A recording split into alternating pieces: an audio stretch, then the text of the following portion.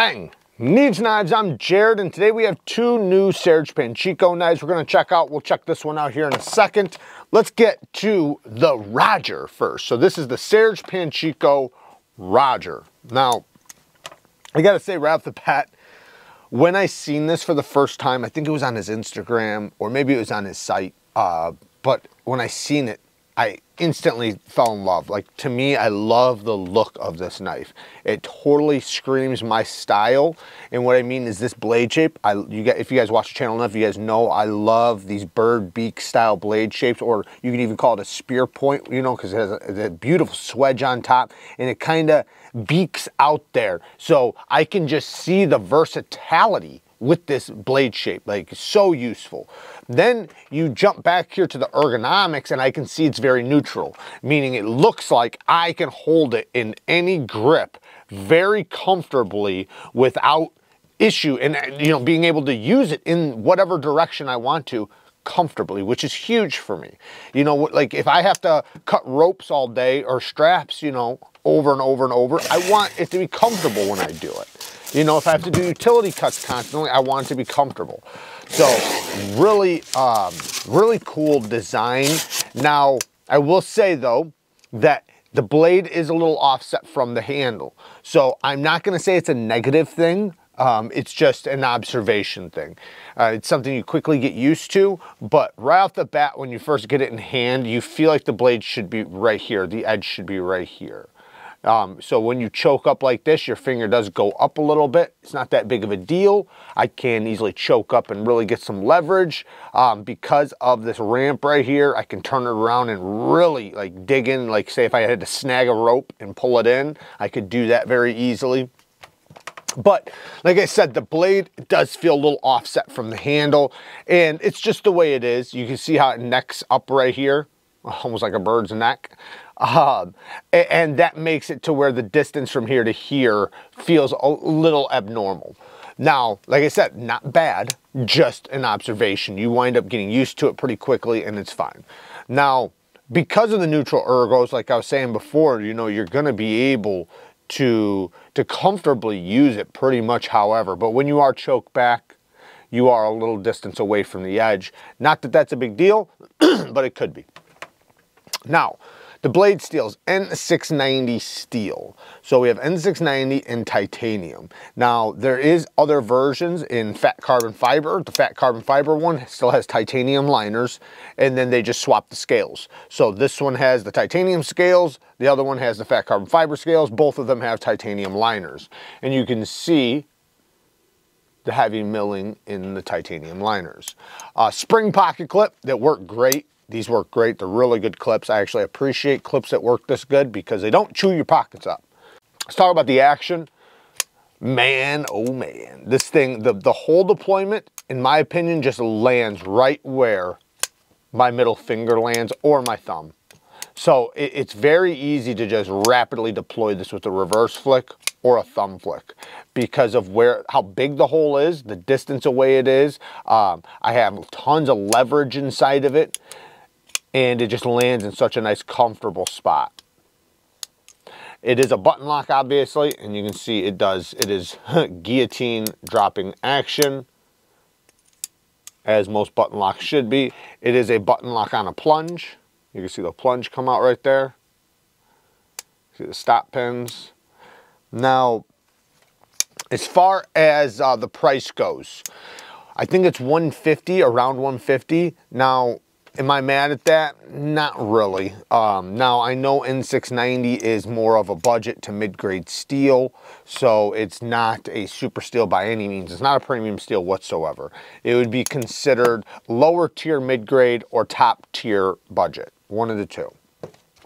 Now, it's a, it's a steel that takes a good edge. It does hold a decent edge, um, and it's nice and corrosion resistance. It's a decent steel for a, a knife. Now, considering the handle materials being, you know, all titanium, you know, you know, yeah, it's probably a little bit overpriced, but but to the way I think about it is that the style, right? Like if it's your style, if this is a knife that speaks to you, well then that to me is very important.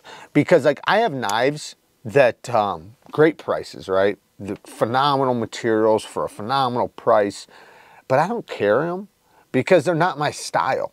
So if the knife happens to be your style, you like the look of it, um, you know, it just kind of speaks to you, well, that's to go a far way, you know, as far as how happy it makes you and how much you actually like it.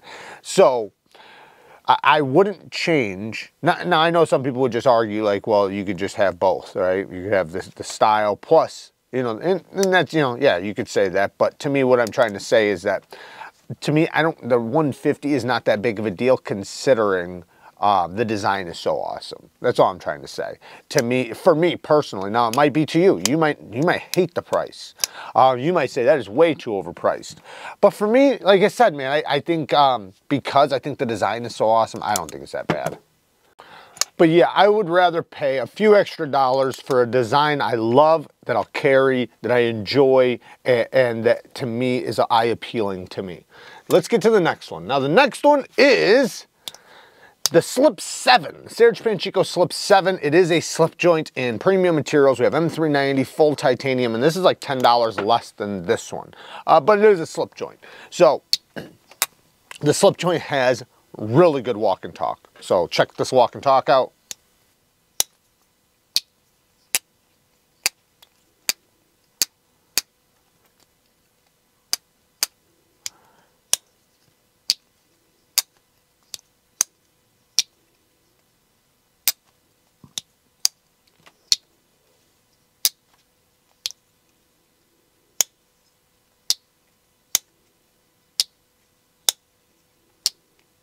Beautiful walk and talk. Nice clackiness. I, I love the sound where it's almost like two glass marbles hitting. I love it. So fantastic walk and talk. Beautiful spring pocket clip. These clips work great. They, um, they're super smooth in and out of the pocket. You don't have to worry about them chewing your pants up. Then these ergos are very neutral, so it's gonna be comfortable in anybody's hand. You can basically use it in the direction that you might use a slip joint in. Um, the blade is a sheep's foot blade beautiful swedge, beautiful geometry, beautiful sharpening choil. And that's another thing, man. Serge Panchenko, as far as I know, always does good sharpening choils and plunge grinds. Maybe there's a couple examples out there, I don't know. But for the ones that I always see, they're always great plunge grinds. Because I, and, the beautiful thing about that is that you can tell the, the knife maker or knife designer either uses knives, sharpens knives, or understands the user's aspect and, and cares about how it's going to be for the user. Um, when I see a plunge grind, a sharpening choil on a knife that, that's not that great, I just can't help but think like the, the designer or the maker or whatever did not think ahead for the user. They didn't care about their ability to sharpen it and how good it will look after sharpening multiple times. This is a knife I could sharpen a dozen times and it's still gonna look new. It's still gonna look good, as, you know, as long as I don't mess up the sharpening because it's not gonna chew into the plunge grind and create a big old smile back here or possibly start recurving, you know, like Buck 110s do, or, you know, um, or it just gets all messed up back here and it starts protruding because it's thicker. You know, so beautiful plunge grinds from Serge Panchenko, and it really shows that he uses knives and or sharpens and, you know, cares about the future of the person that owns the knife. Um, now you can see that the pivot is offset. So one thing your eye might have picked up right away. So the pivot's actually over here to the left rather than in the center. Not a problem. Um, it just is what it is. The back spring is inset a little bit. It's just the way the design is. Um, I have no problems with that. The only thing I do have a problem with is T6s. Now this does come with a couple drivers. So, you know, you have the drivers in the, the box to, uh, to take it apart or to maintenance it or whatever you want to do. But all in all, really really cool man. Um, i really don't have any complaints except for the t6s that's really it. It's a super solid slippy. If you're into slip joints and this is your style they have a clip so that's one thing. Uh, that's a beautiful thing for me with slip joints because i personally love clips. I'd rather carry a clip than a slip but i also like the look of slips so i kind of like to do a little bit of both. But so this does give you the ability to do either one you know and you can always put it in a slip with the clip still on because it's a nice low profile clip. Um, but yeah, this is one that uh, if you like slip joints, this is something you can definitely appreciate. Very high quality, fantastic uh, walk and talk. The great uh, pinch point too. You see how there's no nail nick? It doesn't need it. The stone wash is nice and tacky. You can grip it and rip it so easily. Like you get ton, I love that too. I don't like slip joints where I gotta fight to get it out. I wanna be able to just grip it and rip it. And that's the way this is. So that's another fantastic thing. The slim profile makes it so easy to carry. You this You'd lose this, not lose it, but like you wouldn't even know it was in your pocket. It's so slim and, and lightweight. Yeah, this thing's awesome. And But at any point you have a full-size knife in your pocket and um, you know it's nice and comfortable. So there you guys go. Work hard, stay tough. Until next time, peace.